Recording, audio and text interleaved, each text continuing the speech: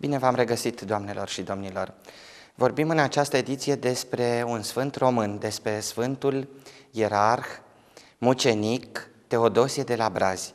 Și pentru aceasta este alături de mine Părintele Iulian Scoipan, parohul Bisericii Apărătorii Patriei 1 din București, unde se găsesc și moaște ale Sfântului Teodosie de la Brazi. Bine ați venit, Părinte, la Cuvânt pentru Suflet!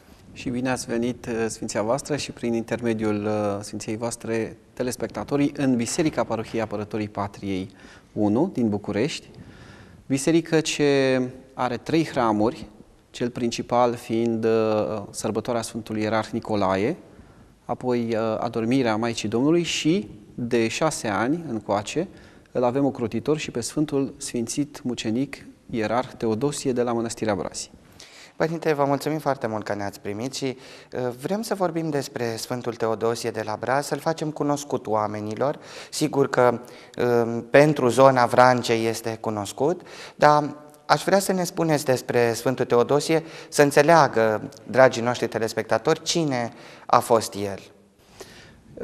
Ei se cuvine o mai mare popularizare a cultului său, pentru că vă mărturisesc că în anul 2010 când uh, cu binecuvântarea preafericitului Părinte Patriarh Daniel am adus o părticică din moaștele sale aici în biserică, nu mulți credincioși auziseră, știau despre el, deși era de uh, șapte ani în calendarul bisericii noastre la acea vreme. Sfântul uh, Sfințit Mucenic Ierarh Teodosie de la Mănăstirea Brazi, uh, nu cred că greșesc dacă spun că este unul dintre cei mai importanți sfinți români cu uh, un aport deosebit în uh, istoria și mai ales în misiunea Bisericii Ortodoxe uh, Române în Moldova. A fost mitropolit al Moldovei și a fost un om de o simplitate desăvârșită, cu o râvnă deosebită, cu un suflet foarte mare, cu o inimă extrem de milostivă față de toți cei aflați în nevoie și mai ales dacă ne gândim la vremurile istorice pe care le-a trăit, vorbim de secolul al XVII-lea, uh, cu o uh, înflăcărată dragoste de țară și de biserică. Părinte, știm despre Sfântul Ierarh uh, Teodosie de la Braz, mitropolitul mucenic, că el intră în viața călugărească de tânăr, este atras de fapt de această viață pe care o îmbrățișează și poartă numele Sfântului Teodosie cel Mare, începătorul vieții de obște.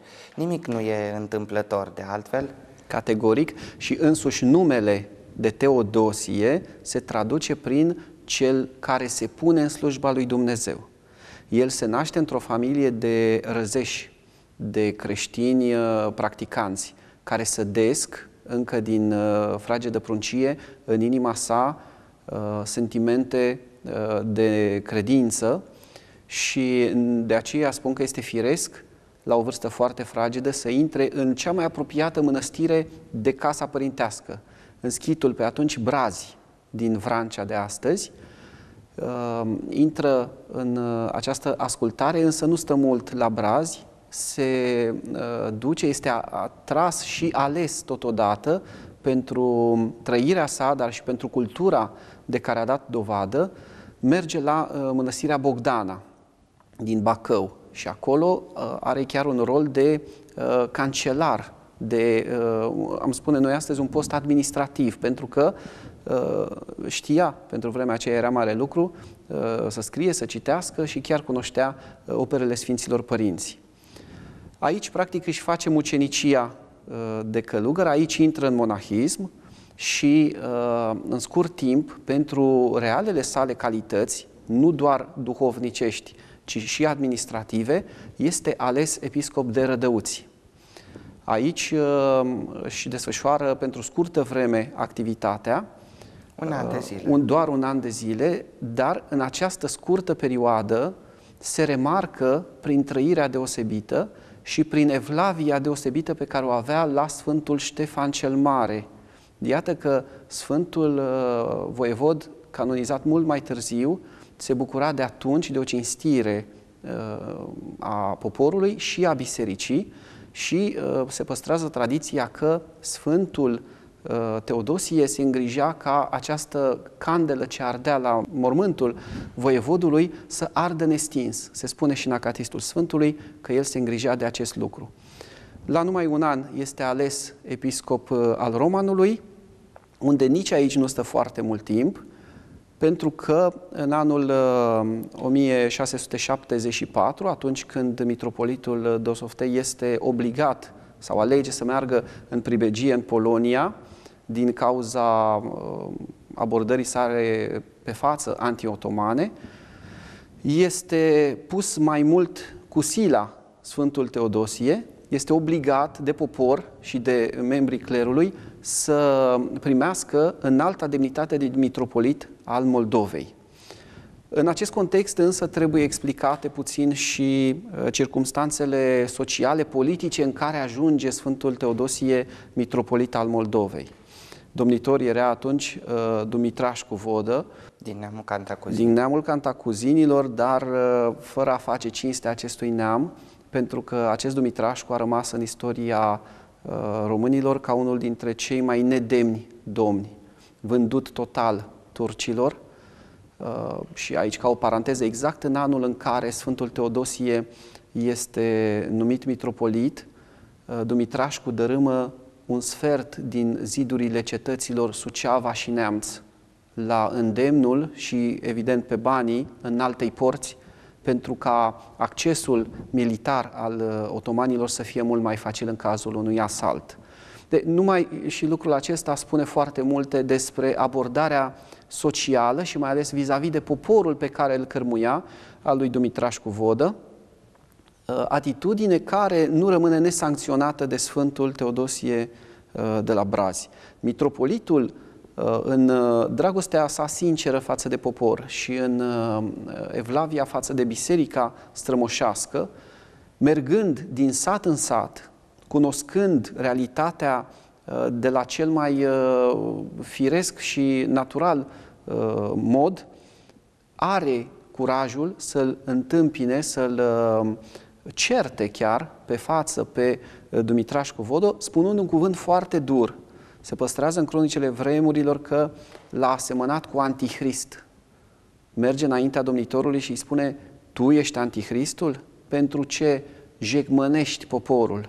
Pentru că birurile crescuseră, veniturile mănăstirilor din proprietățile pe care le aveau la acea vreme erau direcționate de către domnie către în alta poartă și mai mult, prin uh, pasivitatea domnitorului, hoarde de tătari atacau, ardeau sate întregi, mănăstiri chiar, și aceste, aceste lucruri le reproșează Sfântul Teodosie lui Dumitrașcu.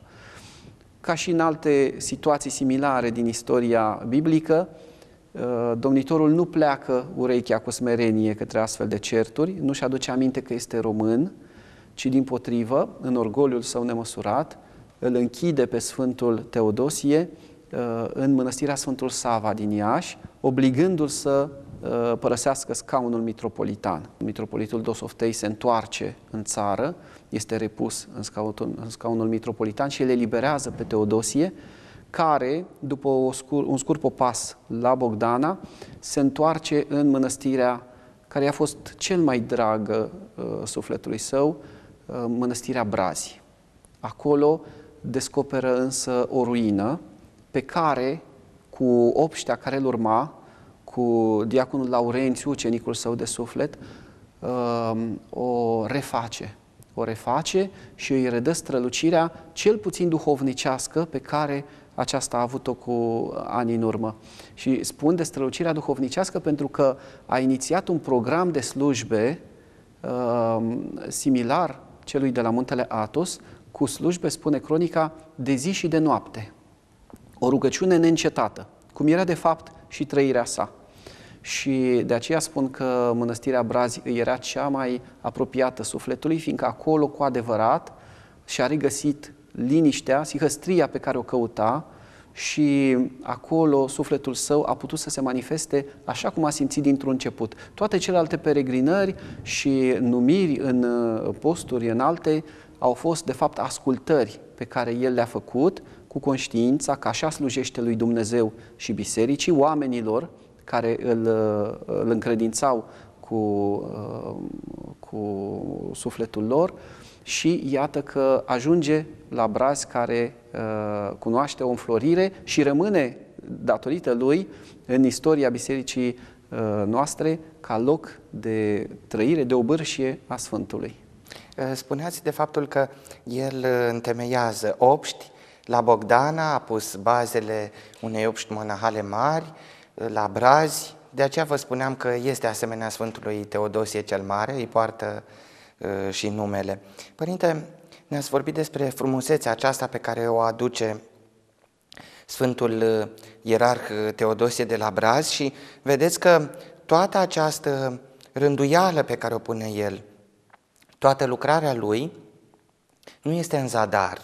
Se naște din um, această rânduială, să-i spunem așa, un alt sfânt, Sfântul Antipa de la Calapodești, care este foarte cunoscut, mai cu seamă în Sfântul Munte, singurul român canonizat în Sfântul Munte este Sfântul Antipa și vine, iată, vedeți pe drumul acesta al Sfântului Teodosie de la Braz, de aici se naște, este canonizat și de ruși și ce frumusețe extraordinară, fiindcă tot Sfântul Antipa de la Calapodești vede moaștele Sfântului Teodosie de la Braz. Aș vrea să ne vorbiți despre uh, sfârșitul acestui Sfânt Mitropolit, ca să vorbim despre Sfintele lui moaște, de fapt. Sigur, remarcați foarte bine că uh, din semințele uh, așezate de mari sfinți, cu siguranță o drăslesc la rândul alți sfinți și probabil că nu doar Sfântul Antipa a fost uh, uh, cu viață sfântă, a fost uh, ales de Dumnezeu, cu siguranță dintre cei care au viețuit în mănăstirile întemeiate sau restaurate, refăcute de Sfântul Teodosie, vor fi născuți sfinți în împărăția lui Dumnezeu, asta rămânând într-o pagină mereu deschisă a istoriei bisericii noastre. Sfârșitul mucenicesc al Sfântului survine uh, în momentul în care o hoardă de tătari atacă uh, mănăstirea.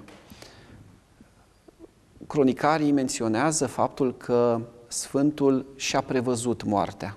A cunoscut momentul când uh, va trece în împărăția lui Dumnezeu și de aceea... Și sfârșitul mucenicesc. Sfârșitul mucenicesc și de aceea a pus la adăpost odoarele bisericii și vom vedea un pic mai târziu atunci când vă voi uh, povesti despre descoperirea moaștelor sale, chiar și o mică avere, o mică sumă de bani strânsă din donații, din, uh, uh din tot ceea ce el a putut agonisi în viața aceasta, nu pentru sine, ci pentru biserică și cu destinație de a întemeia, de a construi alte uh, mănăstiri pe care nu și le-a mai uh, văzut cu ochii lumești, însă știa că vor fi construite și pentru aceasta uh, a pus la adăpost o sumă de bani. Însă și pe care le ocrotește. Le ocrotește întotdeauna ca un ctitor uh,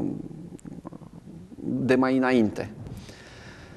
Această coardă de tătari ajunge la mănăstirea Brazi și Uh, prinzând din toată obștea pe Sfântul Teodosie, îl chinuiește în fel și chip, obligându-l să spună unde sunt averile, gândind că o astfel de vatră care atrăgea multă lume trebuie să dețină averi. Sfântul uh, știa că singura avere sunt uh, vasele de slujbă, sunt icoanele împodobite și pe acestea n-a vrut să le lase pradă tâlharilor, și alege să moară după câteva zile de chinuri când uh, tătarii i-au tăiat capul. Au incendiat mănăstirea și au plecat, iar trupul Sfântului a fost înmormântat oarecum în grabă de către câțiva țărani, chiar în biserica cu hramul Sfântul Gheorghe pe care Sfântul Teodosie o construise, gândind că așa se cuvine unuia la care ei și tot poporul aveau mare evlavie. L-au înmormântat, deci, în, în mănăstire. Timpul a trecut, însă poporul a păstrat în amintire și în conștiința sa numele și uh, faptele Sfântului Teodosie. De aceea, chiar dacă la un moment dat se pierduse mormântul său, oamenii continuau să vină, să aprinde lumânări și să înalțe rugăciuni la mănăstirea Brazi. Rânduiala lui Dumnezeu face ca în anul 1854, aici la Brazi, să viețuiască Sfântul Antipa despre care ați amintit. Și care redă faptul că uh, starețul de atunci, Dimitrie, în vremea cât viețuia ca pusnic, a găsit într-o pădure un vas cu galbeni și o inscripție care îl îndemna ca din acei bani să ridice o mănăstire și trei schituri. Iar la momentul ridicării celui de-al treilea schit, va afla și moaștele celui care uh, lăsase această sumă de bani. Nu era altul decât Sfântul Teodosie, care, iată, prorocise nu doar sfârșitul mucenicesc, ci și ridicarea de mai uh, târziu, de după el, a, o, a unei mănăstiri și a trei schituri, ba chiar găsirea, aflarea Sfintelor sale moaște. Cu binecuvântarea mitropolitului de atunci, de la Iași, arhimandritul Dimitrie ridică o biserică mare și trei schituri, al treilea fiind cel de la Brazi. Iar uh, pentru această uh, jertfă deosebită pe care a făcut-o arhimandritul Dimitrie, a primit binecuvântarea să-și pregătească un mormânt lângă această biserică din urmă. Săpând mormântul său, descoperă mormântul Sfântului Ier Ierarh Teodosie.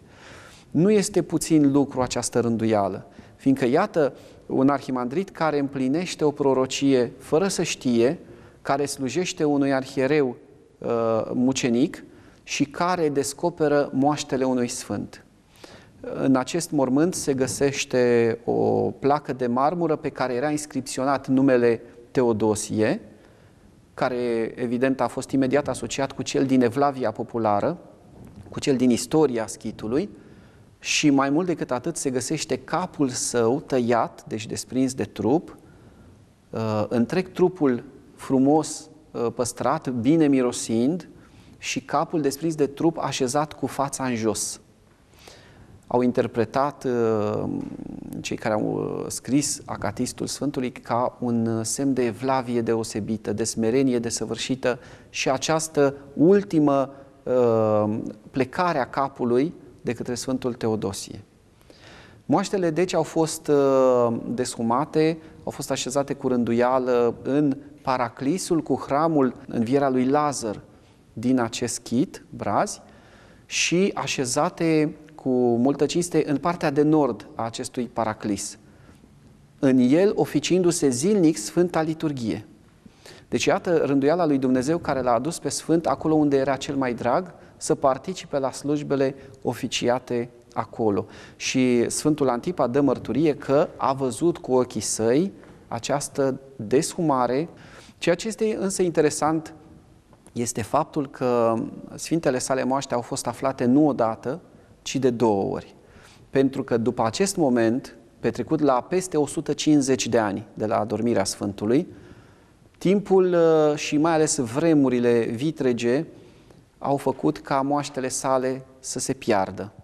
Probabil pentru a nu fi profanate de uh, asupritori, de păgânii care prigoneau în acea zonă poporul, ele au fost din nou îngropate, însă nu în același loc, ci în acest paraclis, în partea de nord a paraclisului mănăstirii, care, uh, până astăzi se poate vedea, era semi-îngropat, era un demisol acest paraclis. Au păstrat însă capul Sfântului Teodosie pe care îl țineau în altar. Exact, pe care îl păstrau ca o sfântă relicvă și iată, deși necanonizat, pentru că erau vremurile de care vorbim, uh, Sfântul lucra în popor minuni, fiindcă se păstrează mărturii că oamenii veneau cu evlavie. Și acest cap s-a păstrat uh, până la dispariția în 1959 a mănăstirii, ultimul stareț al mănăstirii, uh, Teodosie Filimon, care după aceea se retrage și chiar uh, trece la Domnul la Cernica, mărturisește părintelui Grigorie Popescu, un părinte din uh, Panciu de astăzi, din, deci foarte aproape de mănăstire și care s-a preocupat de istoria mănăstirii și chiar a dorit să scrie o monografie a mănăstirii, îi mărturisește, deci, starețul Teodosie, iată numele, faptul că până în 1959 capul Sfântului era cinstit cu evlavie de către uh, credincioși. Așadar, uh, restul trupului este îngropat în, uh, în acest loc, în, uh, în paraclisul uh, în învierea lui Lazar și timpul uh, așterne o uitare asupra locului. În anul 2000, prin rânduiala lui Dumnezeu, au fost descoperite pentru a doua oară moaștele Sfântului, în aceeași stare pe care o mărturisea și Sfântul Antipa, frumos mirositoare, uh, plăcute la vedere și mai ales lucrătoare de minuni. Fiindcă în mănăstirea uh, Brazi, până astăzi, acolo unde se păstrează cea mai mare parte a Sfântului, aproape întreg uh, trupul său, se întâmplă lucruri minunate. Și un lucru minunat este chiar faptul că în numai patru ani au reușit ridicarea unei biserici monumentale. Între 2010 și 2014, uh, obșta de acolo, bineînțeles sprijinită de credincioși și de cei care au evlavie la Sfântul Teodosie, i-au oferit o casă nouă, o casă impunătoare astăzi, așa cum merită un arhiereu. Uh, el a fost canonizat. E de fapt refacerea acestei sfinte mănăstiri așa cum și-a dorit Sfântul Teodosie. Da. Vedeți că dorința lui a fost din nou îndeplinită. Este o rânduială a lui Dumnezeu în toate. Uh, și rânduiala s-a desăvârșit în momentul în care el a fost și oficial recunoscut ca Sfânt al Bisericii noastre.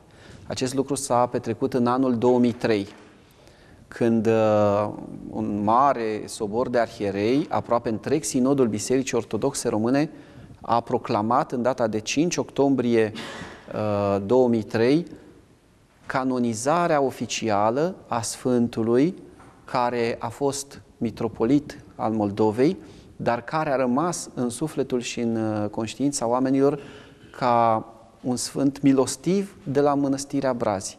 Un sfânt la care toți cei care îi veneau și solicitau ajutorul, toți cei care aveau multe nevoi, primeau pe măsura uh, puterilor mănăstirii un dar, un ajutor, un sprijin. Uh, citim, Părinte, în, în viața lui că era într-adevăr foarte plecat spre toți păstoriții lui și se spune că uh, era apărător al celor nedreptățiți, sprijinitor al tuturor celor săraci. El se implica în soluționarea conflictelor, mai cu seamă uh, cu precădere patrimoniale și îi ajuta și se lupta chiar pentru vrâncenii lui să aibă toate drepturile pe care le dobândiseră de la Sfântul Ștefan cel Mare. Și acestea fac parte din uh, misiunea unui păstor de suflete. Iată că Sfântul uh, Teodosie, prin această implicare în social, am spune astăzi, uh, s-a dovedit a fi un uh, uh, pionier, un, uh, un precursor al misiunii bisericii și, într-adevăr, a rămas în conștiința celor din zona Vrancei ca un mare apărător al drepturilor lor. Și vedeți, Părinte, frumusețea aceasta că nu a făcut, n-a fost un revoluționar așa cum ne imaginăm noi după modelul uh, francez, uh, ci a venit cu această dragoste a lui Hristos. El primește moarte mucenicească prin tăierea capului, așa cum spuneați dumneavoastră, hoarda aceasta de tătari uh, îl omoară, însă sunt ferm convins că era aceeași atitudine ca tuturor mucenicilor din toate timpurile care se rugau pentru aceștia, Doamne, iartă-i pe ei că nu știu ce fac. Sfântul Teodosie de la Brazi este un uh, exemplu, un model pentru foarte mulți dintre uh, românii chiar de astăzi, cărora nu li se mai cere sânge, nu li se mai cere moarte mucenicească, ci li se cere jertfa mărturisirii. Li se cere ca astăzi, cu demnitatea pe care Sfântul Ierar Teodosie a dovedit-o, să-și afirme credința, să-și mărturisească uh, crezul creștin și în măsura posibilităților și, evident, uh, jertfind ceea ce uh, ceilalți le cer, că e vorba de orgoliu, de statură socială sau chiar de judecata critică a celorlalți, să apere principiile pe care le-au cultivat moșii, strămoșii noștri părinților de multe ori și în care ei astăzi cred. Și iată în Duhul acesta ortodox de care vorbeam, care este un Duh al smereniei, al smereniei frumoase. Părinte, se apropie finalul acestei ediții, din nefericire, îmi place să vorbim despre Sfinții Români, fiindcă, așa cum spunea Sfântul Vasile cel Mare în liturgia sa, Dumnezeu arată sfinți din toate neamurile și iată, aceștia sunt ai noștri, sunt foarte aproape de noi, sunt din neamul nostru și mai spuneam în edițiile acestei emisiuni că este foarte important să ne cunoaștem istoria, să ne cunoaștem sfinții noștri, să îi punem înainte, fiindcă ei sunt modelele cele mai vii, cele mai apropiate de noi. Deci mai întâi ne învățăm sfinții români, învățăm despre ei, îi cinstim și după aceea trecem la ceilalți, că mai întâi învățăm istoria românilor și după aceea istoria universală. Așa am gândit și noi atunci când în anul 2010 am adus o părticică din moaștele Sfântului Teodosie în biserica noastră, uh, gândind că această comunitate din zona apărătorii patriei este că dorește sau nu, că se trage pe linie uh, din neam direct sau nu, este această comunitate uh, succesoarea acelora care au luptat sau jertfit pentru întregirea neamului, pentru libertatea, demnitatea uh, poporului român și mai ales pentru unitatea sa. Pentru că zona apărătorilor patriei își trage numele de la cei care au luptat în primul război mondial, au făurit ceea ce noi astăzi numim cu mândrie România Mare și aveau nevoie, urmașii acestor apărători ai patriei, de un model viu, de un model de credință și de jertfă în mijlocul lor. Părinte, um, aș vrea să ne spuneți la final, dacă sunt oameni care simt puterea Sfântului, care vin la rac, la uh, Sfintelor lui Moaște și cer ajutorul și dacă aici, ca și la Mănăstirea Brazi, sunt minuni și astăzi, Minuni cu siguranță lucrează Sfântul Teodosie prin Sfintele sale moaște, aici și oriunde se află ele, pentru că în vederea popularizării cultului său, părticele din moaștele sale au ajuns, iată, și în București și cu siguranță în multe părți ale țării. Mi-e greu să vă spun minuni concrete, sunt oameni care vin și mărturisesc împlinirea unei rugăciuni, a unui gând, tămăduirea unei boli, iar lucrul acesta îl fac într-o smerenie desăvârșită, însă ne uitând să mulțumească. Și acest lucru este important și acest lucru arată Evlavia și acest lucru arată, de fapt, puterea Sfântului. Mulțumirea de după primirea unui răspuns la rugăciune este importantă pentru creștin. Părinte, pentru că se apropie hramul Bisericii dumneavoastră și mă gândesc aici la ziua Sfântului Teodosie de la Braz, el este Uh, trecut în calendar la 22 septembrie în fiecare an cu zi de prăznuire. Cum vă pregătiți dumneavoastră? Cum se pregătesc credincioșii care l-au un suflet pe Sfântul Ierarh mucenic Teodosie de la Brazi, la biserica dumneavoastră? Sărbătoarea Sfântului este întotdeauna uh, un prilej de bucurie, cu atât mai mult cu cât avem uh, cinstitele sale moaște în mijlocul nostru. Programul liturgic uh, începe din seara de ajun cu slujba vecerniei și a litiei și continuă cu uh, slujba acatistului, utreniei și a Sfintei Liturghii din ziua sărbătoririi lui. Întotdeauna uh, la acest praznic avem mai mulți preoți invitați.